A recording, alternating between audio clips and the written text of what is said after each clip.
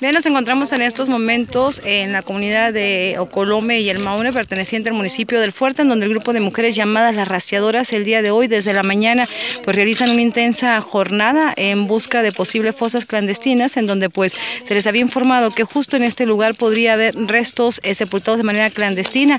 Este día pues se cumplen tres años de la desaparición de Roberto Corrales Medina, el hijo de doña Mirna Medina, y bueno, pues las obligó a realizar este pues eh, trabajo. Aquí nos encontramos una fosa donde ya se han localizado algunos eh, restos que pueden pertenecer a una persona. Por el momento se desconoce. La señora se encuentra realizando los trabajos aquí en el lugar, en esta excavación, en donde pues eh, ha sido detectada esta fosa clandestina.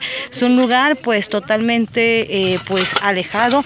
Es un lugar que se encuentra entre la comunidad de Ocolome y bueno, lo que viene siendo los muros. Y bueno, pues ya se han detectado algunos restos cuerpo, pero estamos tratando de hacerlo con lo más cuidado que podamos para que no se pierda ni un pedacito, que cada, cada huesito, acuérdate que el cuerpo tiene 206 partes o 208 huesitos. Queremos mínimo recuperar eso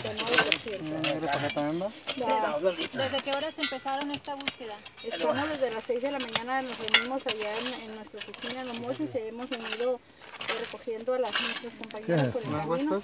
Vienen compañeros sí. ¿Más hueso, Mirna? Yo creo que sí. Pásalo para allá, y ya dáselo a la señora. Acá, acá, acá. No, no, no. Se están uniendo también los familiares, los padres de familia. Eso me da muchísimo gusto. Él.